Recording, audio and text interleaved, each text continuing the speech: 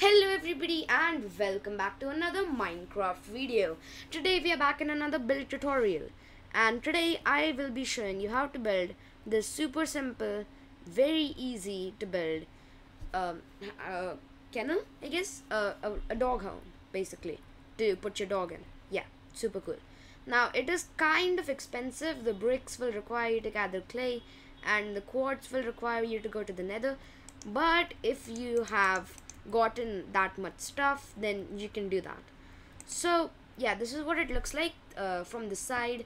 This is it from behind. This is what it looks like again. It looks pretty cool in my opinion. Uh, and if you want you can add a fence gate over here. But that's completely optional. So if I grab a fence gate which is an acacia fence gate and I place it over there it looks like that uh, so yeah it's completely your choice if you want to place a fence gate. I'm not gonna include it because I think it ruins the vibe. Uh, and without further ado let's begin building it. First of all place one uh, brick. So you need bricks smooth quartz slabs brick slabs and red wool so first of all uh, place one brick then another and then another then place another row of three bricks one block to the side and on the last block behind it place one block. Uh, so it should look like this uh, a upside down U or like a straight up U. Just make a U out of bricks. Uh, next just bring this U uh, shape up uh, one block just like that and break the bottom blocks and replace them with red wool. Just like that. Finally if you want to add some details add some uh, stone brick slabs on the corners of this. Uh, but this is completely optional. Over there I have not done it. Over here I have. So again completely optional. It's all up to you to customize your build however, however you want to use it. Uh, finally you need some smooth quartz slabs.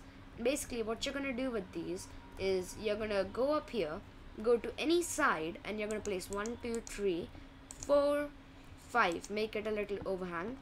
Then on top of these stone bricks you're gonna make another overhang and place them on top five.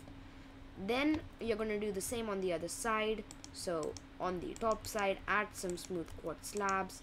Do the same thing outside on the other side. Just like that. And finally all you have to do now is come to this block and place one two. A full block is full smooth uh, block of quartz using two smooth quartz slabs.